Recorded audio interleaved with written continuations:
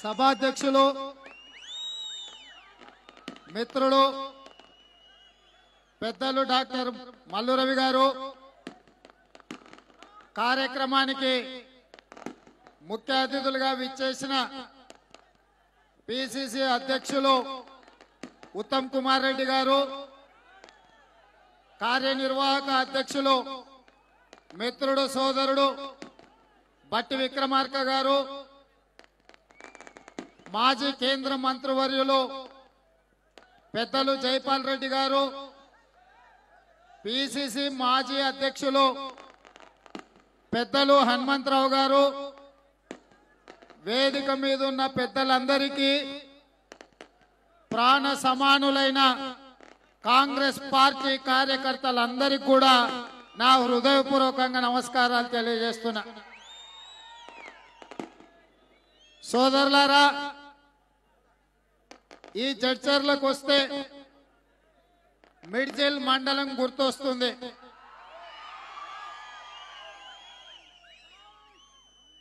ఢిల్లీకి రాజైన తల్లికి బిడ్డనే అన్నట్టుగా రాజకీయాలలో ఎంత ఎత్తుకు ఎదిగినా మొట్టమొదట నన్ను ఆశీర్వదించి కడుపులో పెట్టుకొని చూసుకొని గుండెల్లో పెట్టుకొని గెలిపించి మొట్టమొదటి ప్రజా ప్రతినిధిగా ఎన్నిక అవ్వడానికి అవకాశం ఇచ్చిన మిడ్జిల్ మిత్రులందరినీ కలుస్తుంటే సొంత కుటుంబ సభ్యులను కలుసుకున్నంత ఆనందంగా ఉంది. సోదరులారా ఇది ఒక సామాన్యమైన ఆషామాషి రాజకీయ పార్టీ బహిరంగ సభ కాదు.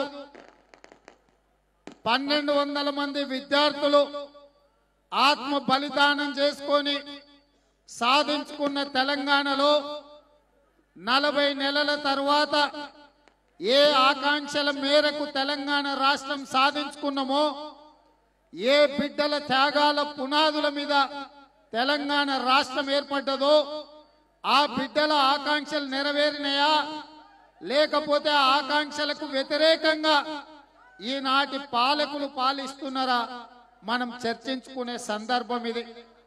ఇవాళ నేను అడుగుతున్నా ఈ రాష్ట్ర ప్రభుత్వాన్ని ఇవాళ నేను అడుగుతున్న తెలంగాణ సమాజాన్ని తెలంగాణలో పన్నెండు వందల మంది విద్యార్థులు ఆత్మ బలిదానం చేసుకున్నది తెలంగాణ రాష్ట్రం సాధించుకున్నది కల్వకుంట్ల చంద్రశేఖరరావు గారిని ముఖ్యమంత్రిని చేయడానికా?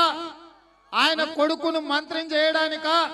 ఆయన అల్లుడిని మంత్రి చేయడానికా ఆయన బిడ్డను ఎంపీ చేయడానికా లేదా ఆత్మ గౌరవంతో స్వయం పాలనతో తెలంగాణను అభివృద్ధి చేసుకోవడానికి తెలంగాణ రాష్ట్రం సాధించుకున్నారా? ఇవాళ ఆలోచన చేయాల్సిన అవసరం ఉన్నది. ఇవాళ నేను ఒకటే అడుగుతున్న కల్వకుంట్ల చంద్రశేఖరరావు గారిని. అయ్యా అరవై సంవత్సరాల ఆకాంక్షను వందల మంది తెలంగాణ బిడ్డల ఆత్మ బలిదానాలను చూసి ఇక తెలంగాణలో ఏ బిడ్డ చావకూడదు ఏ కన్న తల్లి కడుపు కోతకు గురి కాకూడదు తెలంగాణ అభివృద్ధి పదం వైపు నడవాలా తెలంగాణ బిడ్డల త్యాగాలిక ఉండకూడదని చెప్పి సోనియా గాంధీ గారు తెలంగాణ రాష్ట్రం ఇస్తే ఇవాళ తెలంగాణ రాష్ట్రాన్ని నాలుగు కోట్ల మందిని నీ కుటుంబంలో ఉండే నలుగురు పట్టి పీడించడం సమంజసమా అని చెప్పి ఈరోజు నేను చంద్రశేఖరరావు గారిని అడుగుతున్నా. ఇవాళ నేను అడుగుతున్న చంద్రశేఖరరావు గారిని ఈ తెలంగాణ రాష్ట్రంలో నువ్వు ఆనాడు ఎన్నికల సందర్భంగా డబ్బా ఇండ్లు వద్దు డబుల్ బెడ్రూమ్ ఇండ్లు ఇస్తా అన్నావు. దళితులకు మూడెకరాల భూమి ఇస్తా అన్నావు. గిరిజనులకు పన్నెండు శాతం రిజర్వేషన్ ఇస్తా అన్నావు. మైనారిటీలకు పన్నెండు శాతం రిజర్వేషన్ ఇస్తా అన్నావు. పిల్లలకు ఫీజు రియంబర్స్మెంట్ ఇస్తా అన్నావు. ఇంటికో ఉద్యోగం ఇస్తా అన్నావు. ఇవే కాదు ఇంకా ఎన్నెన్ని మాటలు చెప్పిండయా అంటే దళితునే ఈ రాష్ట్రానికి ముఖ్యమంత్రి చేస్తా అని చెప్పిండు.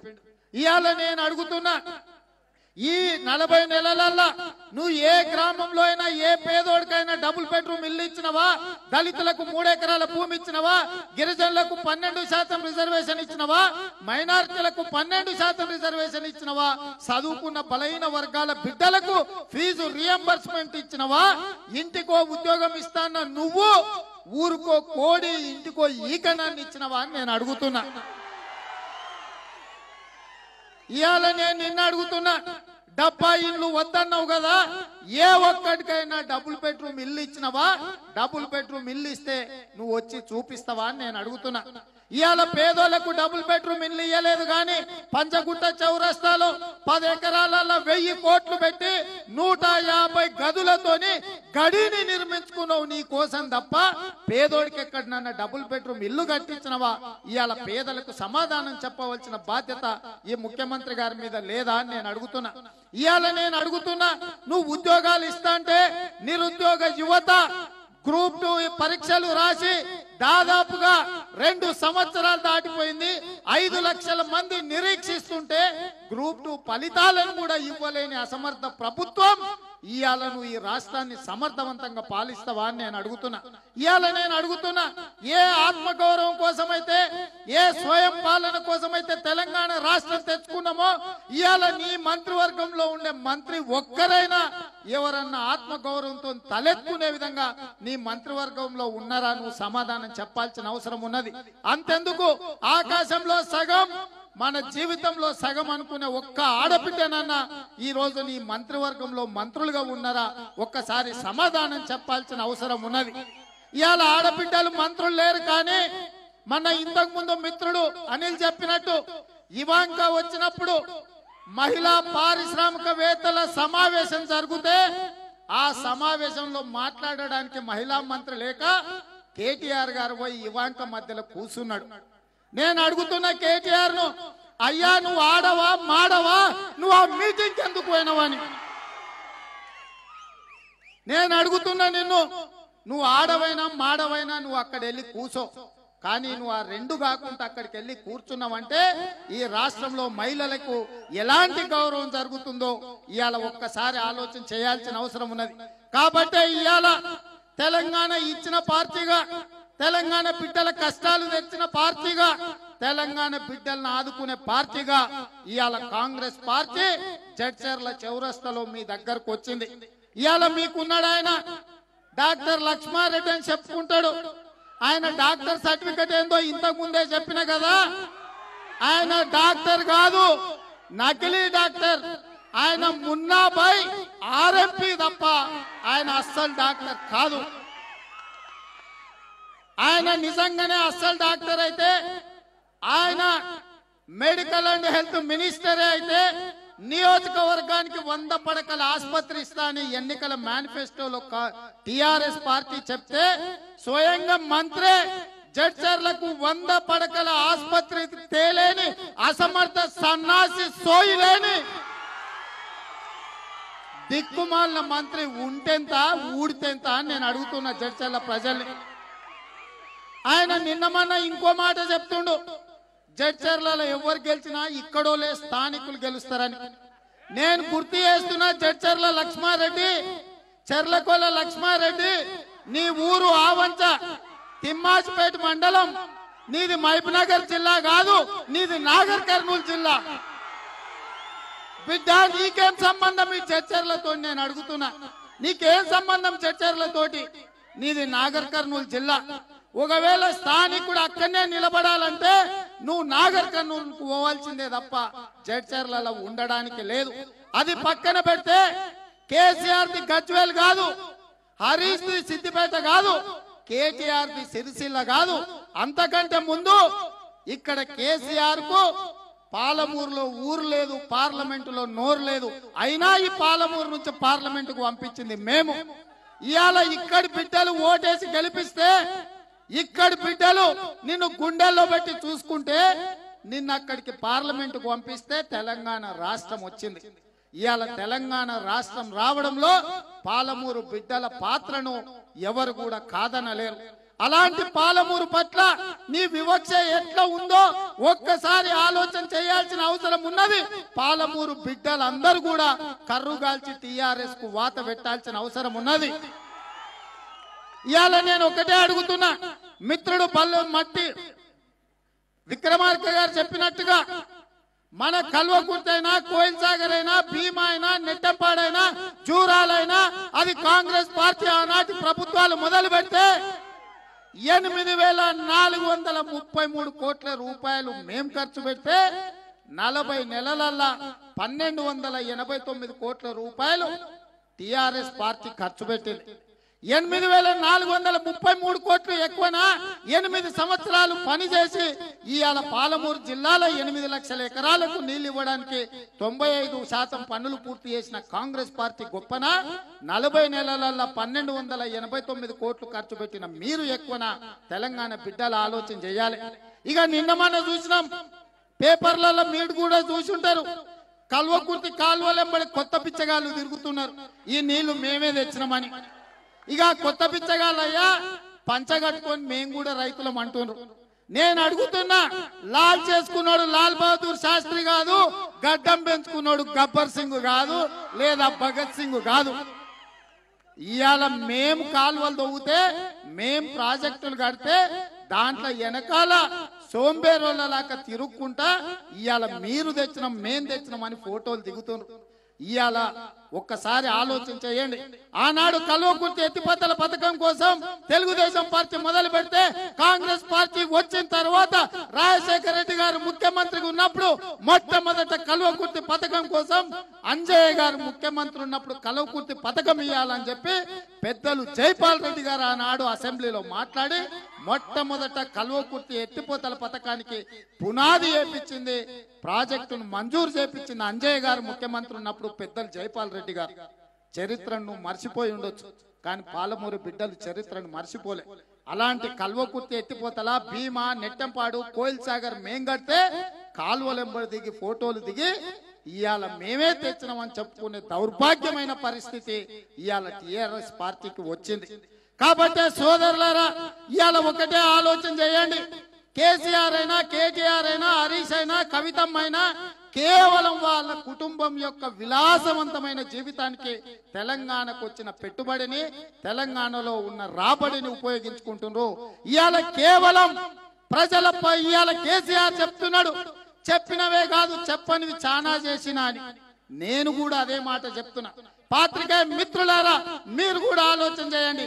కేసీఆర్ ఏ రోజు కూడా టీవీ పెట్టుకుంటా అని చెప్పలే పేపర్ నడుపుకుంటా అని చెప్పలే వెయ్యి ఎకరాలలో ఫామ్ హౌస్ కొనుక్కుంటా అని చెప్పలే. ఇవాళ ఆయన బిడ్డలకు ఆయన కొడుకులకు మంత్రి పదవులు ఇచ్చుకుంటా అని చెప్పలే. ఇవాళ నీళ్ళు నిధులు నియామకాల పేరు మీద ఉద్యమం జరిగితే నీళ్ళు నిధుల నియామకం కోసం త్యాగాలు జరిగితే ఇవాళ కేసీఆర్ గారు ముఖ్యమంత్రి అయినాక ఏం చెప్తున్నాడా అంటే బర్రెలు గొర్రెలు చేపలు చీరలు అంట ఇవాళ బర్రెల కోసమో గొర్రెల కోసమో చేపల కోసమో చీరల కోసమో పన్నెండు వందల మంది ఆత్మ బలిదానాలు చేసుకున్నారా? ఒక్కసారి తెలంగాణ సమాజం ఆలోచన చేయవలసిన అవసరం ఉన్నది. ఇవాళ నేను అడుగుతున్నా నాలుగు నలభై నెలలల్లా నూట ఇరవై నాలుగు తండలున్న ఈ జడ్చర్ల నియోజకవర్గంలో ఏ ఒక్క తండానైనా గ్రామ పంచాయతీగా చేసినవా? ఏ ఒక్క తండాకైనా నువ్వు రోడ్డు వేసినవా ఏ ఒక్క లంబాడి బిడ్డకైనా నువ్వు ఉద్యోగం ఇచ్చినవా అని నేను అడుగుతున్నా.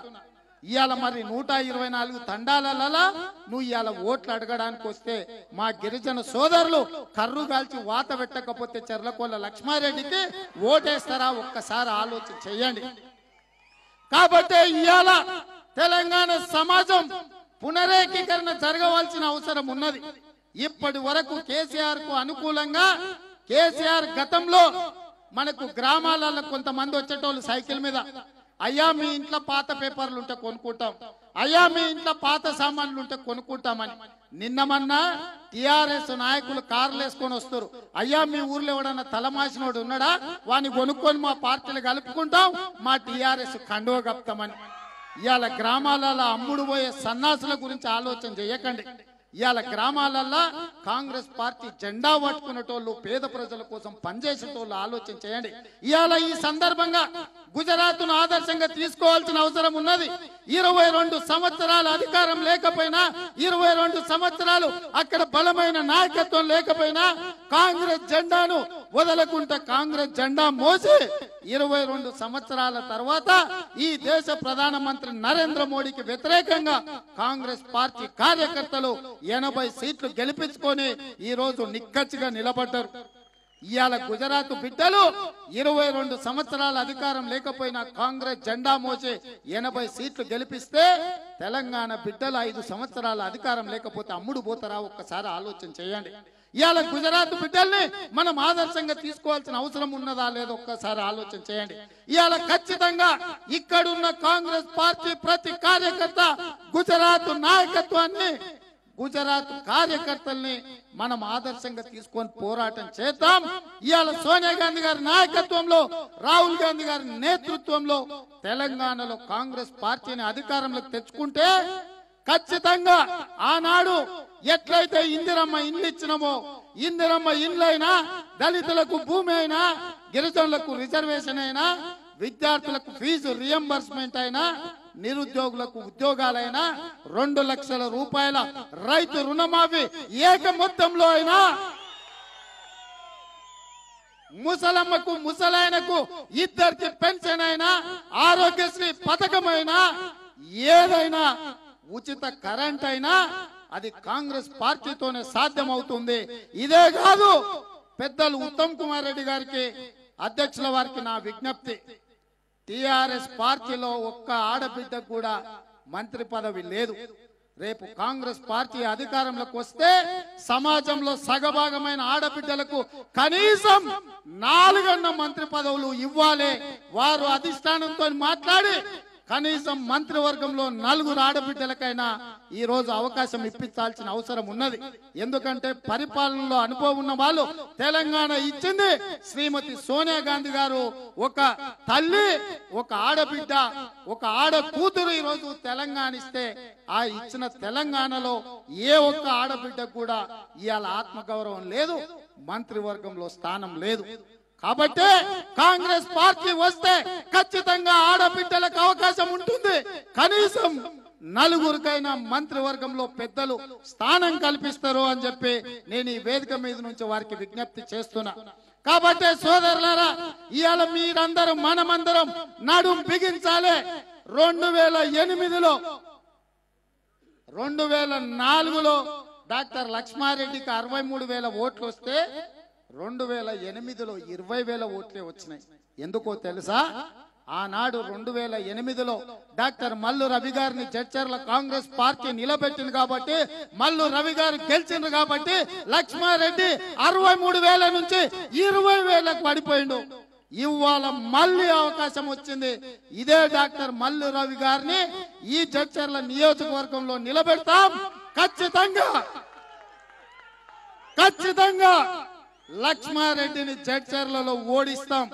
లక్ష్మారెడ్డి గారు రియల్ ఎస్టేట్ వ్యాపారం తప్ప జడ్చర్ల నియోజకవర్గ అభివృద్ధికి ఏమాత్రం ప్రయత్నం చేస్తలేడు. ఇవాళ ఎన్ని వందల ఎకరాలు ఇక్కడ కొనుక్కున్నాడో మీకు తెలుసు. ఇదే కాదు ఔటర్ రింగ్ రోడ్డు ఆనుకొని కొల్లూరు దగ్గర మూడు వందల యాభై ఎకరాల భూమిని కొనుక్కున్నాడు మీ మంత్రి లక్ష్మారెడ్డి. ఎక్కడి నుంచి వచ్చింది ఈ సొమ్మని నేను అడుగుతున్నా. ఇవాళ ఇక్కడ ఆయన రియల్ ఎస్టేట్ వ్యాపారం గురించి జడ్చర్లలో ఉన్నోళ్ళ అందరికీ తెలుసు. ఇవాళ హైదరాబాద్లో కొనుక్కున్న దాని గురించి ఆలోచన చెయ్యండి. ఇవాళ మీరు ఎమ్మెల్యే గెలిపిస్తే మంత్రి అయ్యి రియల్ ఎస్టేట్ వ్యాపారం చేసుకొని వందల ఎకరాల భూములు కొనుక్కుంటుంది తప్ప కనీసం వంద పడకల ఆసుపత్రి కూడా జడ్చర్లకు తీసుకురాలేదంటే ఈయనకు ఆ మంత్రి పదవి ఉన్నా ఏంది లేకున్నా ఏందో ఒక్కసారి ఆలోచన చేయండి కాబట్టి సోదరులారా డాక్టర్ మల్లు రవి గారిని అత్యధిక మెజార్టీతో చర్చలలో గెలిపించాలి. ప్రత్యేకంగా మా మిర్జిల్ మిత్రులకు విజ్ఞప్తి చేస్తున్నా. ఆనాడు ఆనాడు నన్ను స్వతంత్ర అభ్యర్థిగా జడిపిటీసీగా తొమ్మిది నెలలు గెలిపించిన తొమ్మిది నెలలలో ప్రతి గ్రామంలో అభివృద్ధి పనులు చేపట్టిన. ఇవాళ అక్కడ మిత్రులందరూ అటు ఇటు చెల్లా చెదురైపోయారు అందరు కూడా మిడ్జిల్ మండలంలో మిత్రులందరూ కూడా ఒక్క గొడుగు కిందికి రాండి. కాంగ్రెస్ పార్టీ జెండా కిందికి రాండి. పెద్దలు డాక్టర్ మల్లు రవి గారికి అండగా ఉండండి. వారితో పాటు ఈ జడ్చర్ల నియోజకవర్గంలో ఉండే యువకులకు నేను అండగా ఉంటా. ఇక్కడ ప్రజలకు ఇక్కడ ఏ సమస్య మీద వచ్చినా ఈనాటి కూడా మిర్చిల నుంచి నా దగ్గరకు వస్తుంటారు. ఏ చిన్నది ఉన్నా ఖచ్చితంగా అన్ని పార్టీలలో ఉన్న వాళ్ళు కాంగ్రెస్ పార్టీలకు రాండి. మల్లు రవి గారిని గెలిపించండి. మల్లు రవి గారిని గెలిపిస్తే వారితో పాటు నేను కూడా మీకు అండగా ఉంటా. ఖచ్చితంగా ఈ నియోజకవర్గం మీద చర్చర్లలో కాంగ్రెస్ జెండా ఎగరేద్దాం. మల్లు రవి గారిని ఎమ్మెల్యేగా గెలిపిద్దాం. గెలిపిస్తారా? మల్లు రవి గారిని అందరు గెలిపిస్తారా? గెలిపించేటోళ్ళు అందరు చేతులు పైకెత్తండి. గెలిపించే మిత్రులందరు చేతులు పైకెత్తండి. మల్లు రవి గారి నాయకత్వం రాహుల్ గాంధీ గారి నాయకత్వం ఉత్తమ్ కుమార్ రెడ్డి గారి నాయకత్వం. ధన్యవాదాలు సోదరులరా.